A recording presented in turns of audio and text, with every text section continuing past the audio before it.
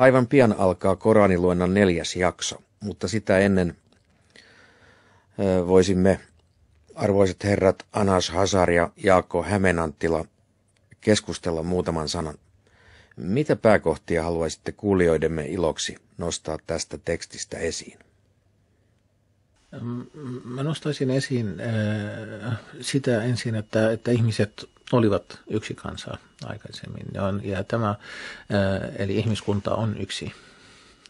Siitä huolimatta, että myöhemmin tuli, tuli sitten siitä erilaisia jälkeläisiä, erilaisia heimoja ja, ja niin edelleen, ja nämä eriytyivät omiin kansoihin, niin kuitenkin lähtökohta on, että ihmiskunta on yksi, ei ole toista ihmiskuntaa, vaan se on yksi. Ja tämä, tämä on tärkeää muistaa tässä meidän, meidän historian historian kannalta, että, että me ollaan kaikki samasta lähteestä.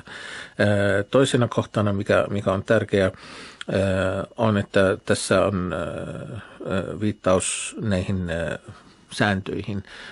Eli, eli ensimmäinen kerta, kun, kun mainitaan viiniä, on, on tässä Tässä jakeessa 219, että Viinissä ja Veikkauksessa on hyviä puolia ja pahoja puolia, mutta, mutta huonot puolet ylittävät hyviä.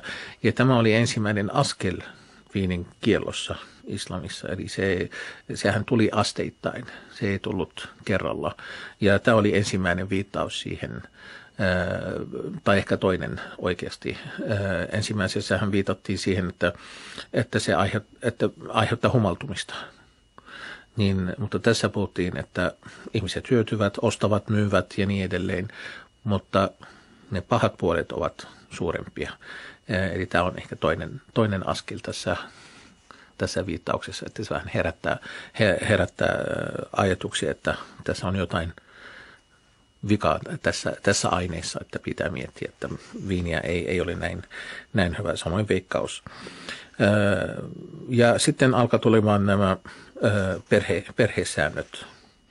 Ja tässä on selkeä, selkeä mietti, tota, niin sanottu miettimisaika sitten määritelty sitten naisille, että pitää ennen kuin menevät naimisiin uudestaan eron jälkeen, että siinä on Kolme kuukautta vai mikä aika Ei, ne on, äh, käytetään sana kuru ja kar on, tarkoittaa, se on vaihe.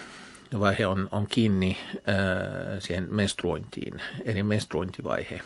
Ja se voi olla se puhtauden aika tai se vuotoaika. Mutta se, se liittyy siihen niille naisille, joilla on menstruointi. Mutta niille, joilla ei ole, niin sitten on ne kolme kuukautta.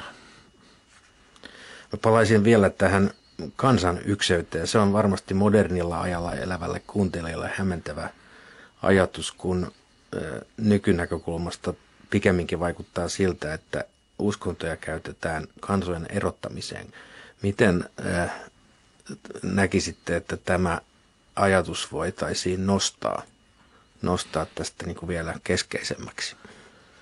No tietysti yksi on se, että, että vaikka se Koranissa käännetäänkin suomeksi usein niin kuin nimenomaan kansalainen, ja toki voitaisiin kääntää myöskin ihmiskunta. Eli se korostaa juuri sitä ihmiskunnan yhteyttä, eikä niinkään juuri siinä ajatella että kansallisvaltiota esimerkiksi, vaan sitä, että ihmiset on niin kuin ihmiskuntana kuntana yhtä. Ja kyllä tuo ajatus nousee Koranissa muuallakin aika usein esille, että, että kaikki ihmiset ovat tasavertaisia Jumalan silmissä. Ja se, mikä tekee eron, on sitten se, miten ihminen itse käyttäytyy, mutta tällainen niin kuin, ikään kuin synnynnäinen yhdenvertaisuus tulee siellä use, useissa kohdissa esille. Ja Koranissa on paljon myöskin sellaista aineista, joka puhuu hyvää esimerkiksi kristityistä ja juutalaisista, eli se, siellä on paljon sellaista, joka korostaa sitä, että näillä uskonnoilla, kolmella uskonnolla on paljon yhteistä, ne, ne, niillä on niin kuin, tavallaan siellä on paljon tällaisia sillanrakennuselementtejä, ja kyllähän näihin nykymaailmassa on paljon tartuttukin, että siis e, meillä on paljon uskontojen välistä dialogia, meillä on paljon sellaista uskontojen välistä keskustelua, jossa pyritään lähentymään. Ja sitten toiselta puolelta on toki hyvä muistaa se, että jos ajatellaan tämänhetkisiä ristiriitoja, nehän eivät niinkään uskonnosta nouse, vaan kyllä siellä on taustalla, siellä on aika usein strategisia asioita, siellä on aika usein, usein öljyä, siellä on aika usein kilpailua siitä, kenelle kuuluu jonkun tietyn maapalasen omistaminen. Että, että ei se nyt varsinaisesti ole niin kuin rabbiinien, piispojen ja, ja imaamien välistä riitelyä, vaan kyllä se on ihan riitelyä siitä, että kuka, kuka saa sitten valtaan sen kun tietyn alueen, että siellä on nämä, nämä hyvin maalliset tekijät kuitenkin näiden konfliktien perussyynä siellä taustalla. Aivan.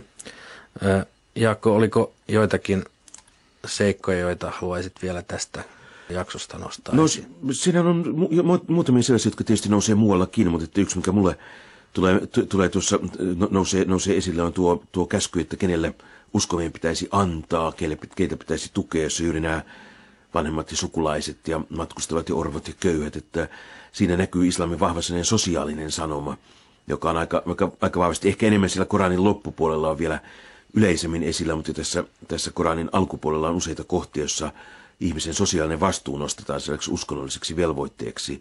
Ja se on näkynyt islamin historian läpi, että muslimit ovat aina maksaneet tätä niin sanottua almuveroa, jonka tarkoitus on juuri tukea köyhiä ja, köyhiä ja heikkoja ja, ja rahoittaa yleisyydellisiä asioita. Ja tietysti maailmassa, jossa ei ollut vielä sosiaaliturvaa, niin tämä oli, tämä oli erittäin oleellinen seikka. Kiitoksia. Muistelkaa Jumalaa määrättyinä päivinä, mutta jos joku kiirehtii tekemään sen kahdessa päivässä, ei sitä lasketa hänelle viaksi, tai jos joku viipyy pitempään, ei sitäkään lasketa hänelle viaksi, jos hän pelkää Jumalaa. Pelätkää Jumalaa ja tietäkää, että teidät kootaan hänen luokseen. Monet miellyttävät sinua puhumalla tästä elämästä ja he kutsuvat Jumalan mietteidensä todistajaksi mutta silti he ovat pahimpia vihollisiasi. Pois käännyttyään he kiirehtivät tekemään pahaa ja tuhoamaan viljan ja karjan kasvun, mutta Jumala ei pidä pahanteosta. Kun heille sanotaan, pelätkää Jumalaa, heidät valtaa ylpeys ilkitöistään. Helvetissä on heille kylliksi, ja se onkin kurja lepopaikka. Toiset taas antautuvat tavoittelemaan Jumalan suosiota. Jumala on laupias palvelijoilleen. Te, jotka uskotte, käykää kaikki yhteen rauhassa, älkääkä kulkeko saatanan jalanjäljissä, sillä hän on teidän ilmeinen vihollisenne. Jos te horjahdatte sen jälkeen, kun olette saaneet selkeät todisteet, niin tietäkää, että Jumala on mahtava, voimallinen. Onko heillä muuta odotettavissa kuin, että Jumala tulee enkeleineen heidän luokseen pilvien katveessa? Asia on päätetty, ja Jumalan luo kaikki palaa. Kysy israelilaisilta, kuinka monta selkeää merkkiä olemme heille antaneet. Joka luopuu Jumalan armosta saatuaan selkeän merkin, tietäköön, että Jumala on ankara rankaisemaan. Tämän puoleinen elämä näyttää uskottomista suloiselta ja he pilkkaavat uskovia. Mutta ylösnousemuksen päivänä Jumalaa pelkäävät ovat heitä paremmassa asemassa. Jumala antaa tiliä pitämättä, kenelle tahtoo. Ihmiset muodostivat yhden kansakunnan. Mutta sitten Jumala lähetti profeetat varoittamaan ja julistamaan ilosanomaa, ja hän tosiaan lähetti heidän mukanaan kirjan, jotta se ratkaisisi ihmisten kiistat. Ne, jotka ovat sen saaneet, riitelevät siitä keskinäisessä kateudessaan vielä senkin jälkeen, kun ovat saaneet selkeät todisteet. Nyt Jumala johdattaa luvallaan uskovia totuuteen, josta ihmiset olivat erimielisiä. Jumala johdattaa oikealle tielle kenet haluaa. Kuvitteletteko te pääsevänne paratiisiin ennen kuin teitä on kohdannut sama kuin niitä, jotka elivät ennen teitä? He saivat kokea vaivaa ja ahdistusta aina siihen asti, kunnes lähettiläs ja ne, jotka uskoivat hänen kanssaan, sanoivat, milloin Jumalan apu oikein tulee? Mutta eikö Jumalan apu olekin jo lähellä? Sinulta kysytään, mitä uskovien tulee antaa. Sano. Mitä annattekin, antakaa vanhemmille, sukulaisille, orvoille, köyhille ja matkustaville. Mitä hyvää teettekin, Jumala tietää sen. Vaikka te ette pidäkään taistelemisesta, se on määrätty teille, mutta kenties te inhoatte jotakin, mikä onkin teille hyväksi, aivan kuin te kenties rakastatte jotakin, mikä onkin teille vahingoksi. Jumala tietää, mutta te ette tiedä. Sinulta kysytään rauhoitetun kuukauden aikana taistelemisesta.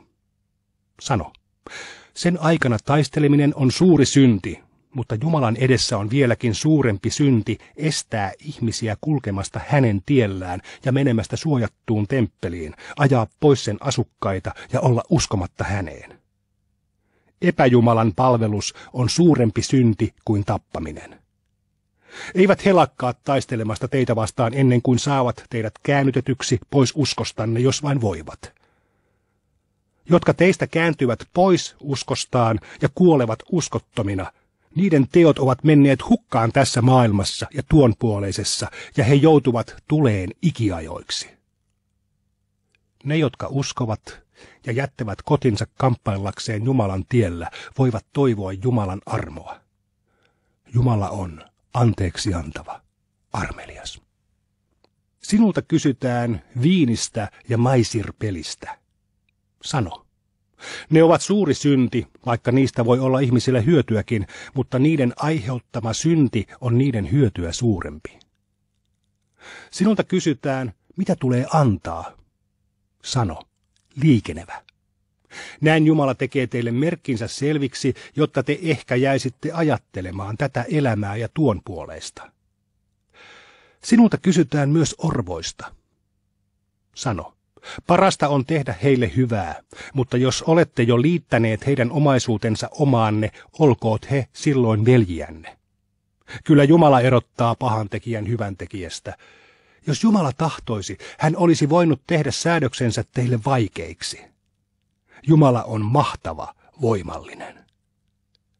Älkää ottako monijumalaisia naisia vaimoiksenne ennen kuin heistä on tullut uskovia. Uskova orjatarkin on parempi kuin monijumalainen, vaikka tämä teitä miellyttäisikin. Älkää myöskään naittako tyttäriänne monijumalaisille ennen kuin heistä on tullut uskovia.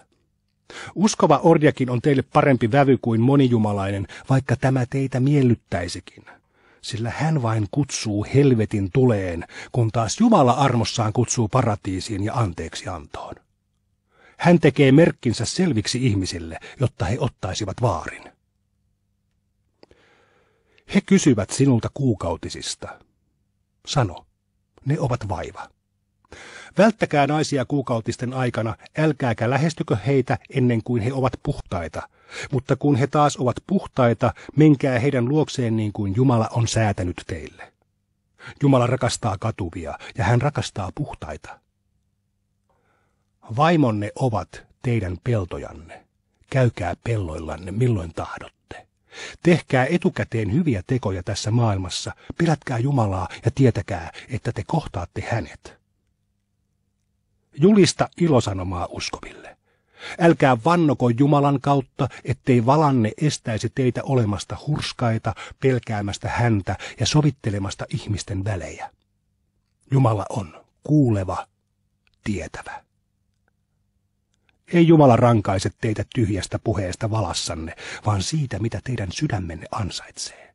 Jumala on anteeksi antava, laupias. Sen, joka vannoo eroavansa vaimostaan, tulee odottaa neljä kuukautta.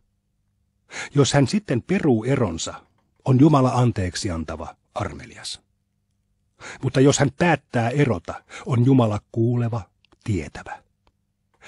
Erotettu vaimo odottakoon kolmen kuukautiskauden ajan, jos hän uskoo Jumalaan ja viimeiseen päivään, eikä hän saa salata, mitä Jumala on hänen kohdussaan luonut. Hänen aviomiehellään on täysi oikeus ottaa hänet tänä aikana takaisin, jos hän tahtoo sovintoa. Erotetulla naisella on samat velvollisuudet ja samat oikeudet kohtuuden mukaan, mutta mies on häntä asteen korkeammalla. Jumala on mahtava, voimallinen. Avioeron voi ottaa kahdesti, ja sitten joko pitää vaimon sovussa tai päästää hänet menemään sovussa – te ette saa ottaa takaisin mitään siitä, mitä olette hänelle antaneet, paitsi jos molemmat pelkäävät, etteivät voi noudattaa Jumalan säädöksiä. Jos pelkäätte, etteivät puolisot voi noudattaa Jumalan säädöksiä, ei heille lasketa synniksi, jos vaimo lunastaa itsensä osalla siitä, mitä on mieheltään saanut. Nämä ovat Jumalan säädökset. Älkää rikkoko niitä. Joka rikkoo Jumalan säädöksiä, on pahan tekijä. Jos mies eroaa vaimostaan, hän ei saa ottaa tätä takaisin ennen kuin vaimo on mennyt uusiin naimisiin, mutta jos uusi mies erottaa hänet, heille ei lasketa synniksi, jos he menevät uudelleen naimisiin edellyttäen, että he uskovat voivansa noudattaa Jumalan säädöksiä. Nämä ovat Jumalan säädökset, jotka hän tekee selviksi tietäville ihmisille. Kun olette eronneet vaimostanne ja hänen määräaikansa on tullut täyteen, pitäkää hänet joko sovussa tai päästäkää menemään sovussa. Älkää pitäkö häntä väkisin loukataksenne häntä. Joka näin tekee, tekee vääryyttä. Älkää pitäkö Jumalan merkkejä pilkkananne, vaan muistakaa Jumalan teille osoittamaa armoa ja sitä, kuinka hän on lähettänyt teille kirjan ja viisauden, jolla hän varoittaa teitä. Pelätkää Jumalaa ja muistakaa, että hän on kaikki tietävä. Kun olette eronneet vaimostanne ja hänen määräaikansa on tullut täyteen, älkää estäkö häntä naimasta aikaisempaa puolisoaan, jos molemmat heistä niin haluavat sovussa. Näin neuvotaan niitä teistä, jotka uskovat Jumalaan ja viimeiseen päivään. Tämä on teille parasta ja sopivinta. Jumala tietää, mutta te ette tiedä. Äiti imettäköön lastaan kaksi kokonaista vuotta, jos isä haluaa häntä imetettävän täyden ajan. Isän tulee huolehtia heidän ruuastaan ja vaatetuksestaan kohtuuden mukaan, mutta kenenkään kannettavaksi ei panna enempää kuin mihin hän pystyy. Äidille ei saa tuottaa vahinkoa hänen lapsensa takia, eikä myöskään isälle. Vaimostaan eronneen miehen perillinen on velvollinen samaan, mutta jos molemmat haluavat yhteisestä sopimuksesta ja keskenään neuvoteltuaan vieroittaa lapsen, ei sitä lasketa heille synniksi. Jos tahdotte antaa lapsenne imetettäväksi, ei sitä lasketa teille synniksi, kunhan vain annatte imettäjälle kohtuullisen palkan. Pelätkää Jumalaa ja tietäkää, että hän näkee, mitä te teette. Jos joku teistä kuolee ja jättää vaimoja, tulee heidän odottaa neljä kuukautta ja kymmenen päivää. Kun heidän määräaikansa on tullut täyteen, ei teille lasketa synniksi sitä, mitä he kohtuuden mukaan tekevät. Jumala on perillä siitä, mitä te teette. Teille ei lasketa synniksi, jos kositte eronnutta naista ennen hänen määräaikansa täyttymistä tai suunnittelette sitä mielessänne. Jumala tietää, että te ajattelette häntä, mutta älkää sopiko hänen kanssaan salaisesta kohtaamisesta, paitsi jos aiotte vain puhua soveliaita sanoja. Älkää myöskään solmiko avioliittoa ennen kuin määräaika on tullut täyteen. Tietäkää, että Jumala tuntee teidän sisimpänne. Varokaa häntä, mutta tietäkää, että hän on myös anteeksi antava, laupias. Teille ei lasketa synniksi, jos eroatte vaimostanne ennen kuin olette koskeneet häneen, ellette ole säätäneet hänelle määräosaa.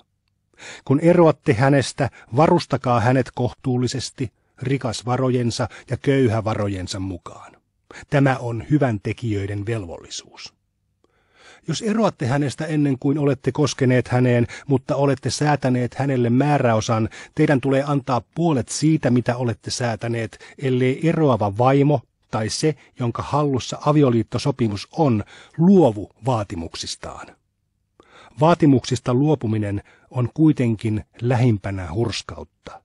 Älkää unohtako olla jalomielisiä toisillenne, sillä Jumala näkee, mitä te teette. Pitäkää huoli rukouksista, myös keskimmäisestä, ja seiskää nöyrinä Jumalan edessä.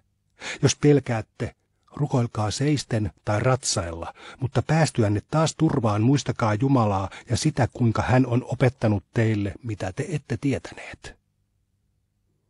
Jos joku teistä kuolee ja jättää jälkeensä vaimon, kuuluu vaimolle elatus vuoden ajan, eikä miehen perillinen saa ajaa häntä pois.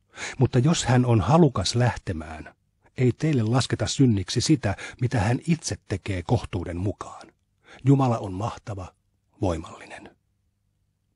Eronneen vaimon tulee saada kohtuullinen elatus, se on hurskaiden velvollisuus. Näin Jumala tekee merkkinsä teille selviksi, jotta te ymmärtäisitte.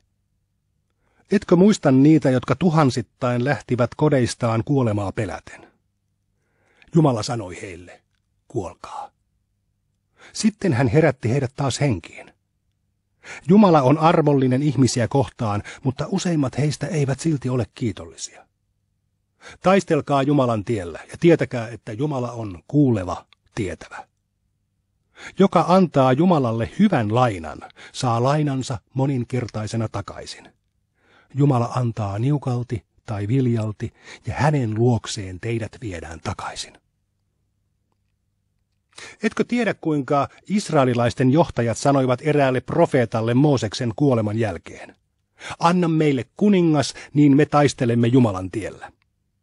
Hän kysyi, entäpä jos te ette taistelekaan sitten, kun teitä on käsketty siihen? He vastasivat, miksi me emme taistelisi Jumalan tiellä, onhan meidät ajettu kodeistamme ja lastemme luota. Kun heidän sitten oli käsketty taistella, useimmat heistä kääntyivät pois. Jumala tuntee pahantekijät. Heidän profeettansa sanoi heille, Jumala on antanut teille Saulin kuninkaaksi. He vastasivat, kuinka kuninkuus voisi kuulua hänelle, vaikka meillä on siihen suurempi oikeus? Eihän hänelle ole edes suotu suurta omaisuutta. Profeetta sanoi, Jumala on valinnut hänet ja antanut hänelle enemmän tietoa ja ruumiin voimaa. Jumala antaa kuninkuuden kenelle tahtoo. Hän tietää kaiken. Profeetta sanoi heille, hänen kuninkuutensa merkkinä on, että hän tuo teille arkin, jossa on teidän herranne Sakina ja Mooseksen ja Aaronin suvun perintö ja enkelit kantavat sitä. Siinä on teille merkki, jos olette uskovia. Kun Saul lähti joukkoineen, hän sanoi, Joen rannalla Jumala koettelee teitä. Joka juo siitä, ei kuulu minun joukkooni, mutta joka ei maista siitä enempää kuin kourallisen, kuuluu minun joukkooni. Useimmat kuitenkin joivat, ja kun Saul ja ne, jotka uskoivat hänen kanssaan, ylittivät joen, he sanoivat, Tänään meistä ei ole vastusta Goljatille ja hänen joukoilleen. Ne, jotka uskoivat kohtaavansa Herransa, vastasivat, kuinka usein pieni joukko onkaan Jumalan luvalla voittanut suuren joukon. Jumala on kärsivällisten kanssa. Astuessaan Goljattia ja hänen joukkojaan vastaan he sanoivat, Herramme, vala meihin kärsivällisyyttä, vahvista meitä ja auta meitä uskottomia vastaan. He onnistuivatkin Jumalan luvalla ajamaan vihollisensa pakoon ja David surmasi Goljatin. Jumala antoi hänelle kuninkuuden ja viisauden sekä opetti hänelle sen, minkä tahtoi. Ellei Jumala olisi antanut toisten ihmisten voittaa toisia, olisi maa turmeltunut, mutta Jumala on armollinen ihmiskuntaa kohtaan. Nämä ovat Jumalan merkit, joita me tosiaan luemme sinulle. Sinä olet yksi lähettiläistä.